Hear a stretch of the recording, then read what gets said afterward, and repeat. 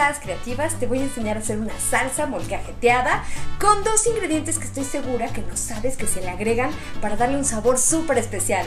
Además te voy a enseñar unos tips súper sencillos para poner muy bonita la mesa con un estilo muy mexicano con molcajetes. Bueno, pues comenzamos. Bueno, vamos a poner a asar una cebolla, tomates verdes, unos tres dientes de ajo, chile serrano al gusto. Yo voy a colocar solo cuatro. Con estos cuatro no queda tan picosa la salsa. También necesitas jitomate, un manojo de cilantro y dos ingredientes especiales que van a ir al último. Ahora fíjate muy bien, en un comal o también puede ser en un sartén muy delgadito, vamos a poner a asar todos los ingredientes. Vamos a esperar a que se pongan negros. sí, la idea es que queden bien tatemados Así es que vamos a estarles dando la vuelta mientras están asando cada uno de estos ingredientes, menos el cilantro. El tomatillo o el tomate verde y también el jitomate se van a ir cociendo poco a poco, así es que es muy importante que no los dejes de mover. El fuego está a fuego medio, lo estamos haciendo sobre un comal, de preferencia un comal delgadito, para que se vayan tostando y vayan agarrando este color negro quemado que le da un sabor espectacular. Los ajos los coloqué ya pelados. También es importante que todas, todas las verduras las coloques perfectamente bien limpias. En el caso de los jitomates, los voy a cortar por la mitad para que me sea mucho más fácil asarlos por todos lados. Y bueno, cuando ya tengas este colorcito y ya sientas muy suaves los tomates, los retiramos del comal. Y aquí viene uno de los ingredientes sorpresas. Vamos a quemar una tortilla. sí, mis chuladas, así como lo oyen. La vamos a quemar por ambos lados. De repente se va a prender solita toda la tortilla. En ese momento apagamos la estufa y dejamos que solito el fuego se consuma. Va a salir un poquito de humo, pero ya que está sin nada de fuego, la retiramos y este ingrediente lo vamos a agregar casi al último. Primero en el molcajete voy a colocar sal de grano y los dos dientes de ajo. Vamos a machacarlos con el tejolote, que así se le llama a esta piedra y bueno, no sé si ustedes sabían, pero tejolote significa niño de piedra. Bueno, pues con esta piedra vamos a ir machacando para trozar todos los ingredientes. Enseguida vamos a ir agregando poco a poco el tomate, el jitomate, la cebolla, el chile. Lo vamos machacando para que todo se integre perfectamente, ve haciéndolo poco a poco y martajarlo para deshacer los ingredientes y que se combinen entre sí. Esto quemadito que agarraron cada ingrediente le da un sabor de verdad, mi chuladas, No le vayan a quitar la piel ni al jitomate ni a los chiles porque esto le da mucho, mucho sabor. Y bueno, ya ustedes deciden cuántos chiles le colocan a su salsa. Yo la verdad lo voy a hacer a un punto medio para que todo mundo la pueda probar y la quiero como para botanear, como para que sea un snack en la mesa, con unos totopos o con un chicharrón, queda perfecto. Y bueno, ya que tenemos todos los ingredientes casi casi bien machacados, porque vamos a dejar algunos trozos enteros, voy a ponerle un poquito de cilantro y de nuevo sal de grano, una pizquita de sal de grano. Seguimos machacando y aquí va este ingrediente súper especial, secreto que le da un sabor delicioso, la tortilla quemada. Se la colocamos así completa y seguimos machacando para que todo se revuelva perfectamente. Este otro ingrediente le da muchísimo, muchísimo sabor y además queda con un crunch delicioso. Estas semillitas de girasol de verdad le dan un toque súper especial a esta salsa.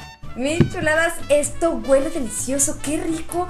Esa combinación ajo, cebollita, obviamente chile.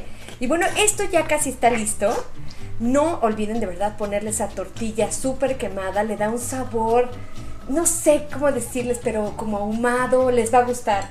También yo piqué un poquito de cebolla, así muy poquitito, un cuartito de cebolla, para ponerle trozos frescos.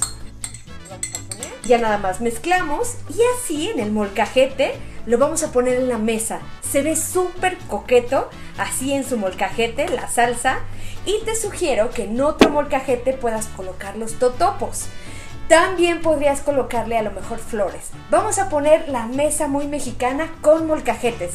Yo sé que me vas a decir, no tengo tantos molcajetes, pero normalmente no usamos los molcajetes diarios. Yo lo que hice fue pedirles molcajetes a mis cuñadas, a una amiga, y con eso me dieron diferentes molcajetes. Incluso conseguí este mini, mini, vean qué chulada. Me gusta como para poner aquí a lo mejor sal o pimienta o chile piquín, queda perfecto en la mesa. Y bueno, ¿qué tal estos totopos? No pueden ser más geniales para esta temporada. Están hechos con chapulines. Vamos a probar esta mezcla y ahorita les voy a enseñar a hacer rápidamente un centro de mesa. Mm, mm, mm, Mi chulada pica, está deliciosa. Lo tienen que hacer, está deliciosa de verdad. Ya ustedes le meten más chiles o menos chiles dependiendo su gusto. Y también se me ocurre que si consigues más de estos molcajetes, podrías incluso ponerlos guisados. A lo mejor los frijoles refritos. Se ve muy bonito esto en la mesa. Y también quiero decirles mi chulada, les quiero contar una anécdota que yo no comía casi chile. Yo a partir de que conocí a mi novio, a mi hombre, él come muchísimo chile y me enseñó a hacer muchos estilos de salsas y esta es una de ellas que quedó deliciosa. Bueno, vamos a hacer el centro de mesa. Voy a mover tantito esto de aquí para acá.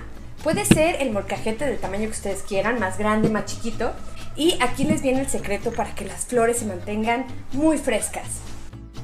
Yo puse en agua estos bloques de oasis. Los venden en tiendas donde venden telas o también donde venden las flores. Ahí les puedes decir, venden un pedacito de oasis y esto lo mantiene fresco. Lo que tienen que hacer es sumergirlo en agua y ya y es más va a estar como muy pesado.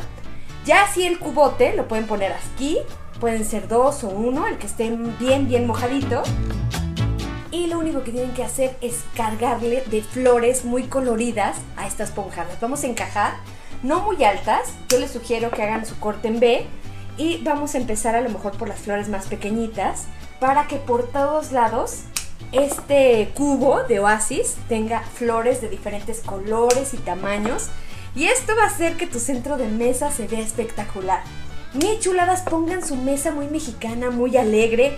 También, por ejemplo, pueden colocar de mantel un zarape. O hay de estas telas muy coloridas, muy económicas también, que pueden utilizar como mantel.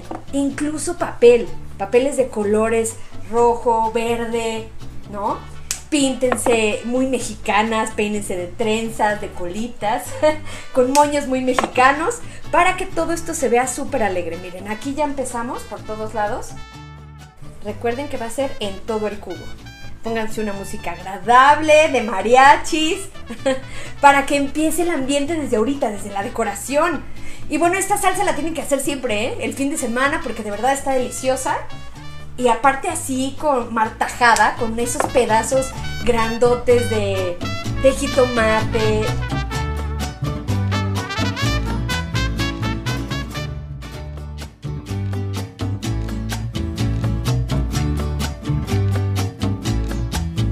Y ahora sí, flores más grandes, ya que tuvimos aquí de más color, podemos poner gerberas o cualquier otro tipo de flor muy muy colorida también no la voy a, cortar tan, tan arriba, las quiero un poquito chaparritas, porque no sé si les pasa que cuando están en una comida luego los centros de mesa te estorban.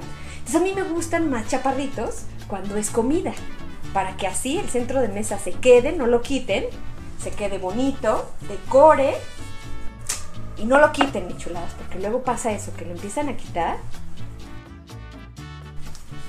Y bueno, ustedes pueden mover las flores si no les gustó, las pueden reacomodar. Pero vean de verdad qué excelente se ve esto. Te vas a lucir, mi chuladas. En esta noche mexicana se van a lucir. Encájanos muy bien y vean por favor. No estorba, está de muy buen tamaño. Se ve genial. Y también les sugiero, me falta un detalle también muy mexicano. Vamos a encajarle una bandera mexicana. ¡Viva México, mi chuladas! También podrían encajarle a lo mejor una estrellita, una moneda, eh, para que se vea como muy coqueto. O colocarle a lo mejor aquí un moñito tricolor. Y vean por favor qué chulada. Mis chuladas, hay muchísimos motivos para festejar, para compartir, para pasarla en familia, de una forma segura, pero sobre todo de una forma súper especial. Con estos detalles tu mesa se va a ver sumamente linda, con ese toque mexicano, además el sabor. Mis chuladas, esto es demasiado fácil, pero de verdad queda súper, súper coqueto. Y bueno, el sabor de esta salsa es espectacular. Podemos dejar estos petalitos ahí regados en la mesa. Sobre todo si son verde, blanco y rojo quedarían perfectos. Pero bueno, vean qué chulada. La voy a poner por acá. porque este es el, el rey de este video. Esta salsa molcajeteada que les va a encantar, de verdad, estos dos ingredientes extras que no se esperaban, que es la semilla de girasol y la tortilla quemada, le dan un sabor sumamente delicioso. Bueno, micheladas, ahora sí, ya me voy. Espero que les haya encantado esta idea como a mí. Nos vemos muy muy pronto en otra chulada creativa. Bye bye.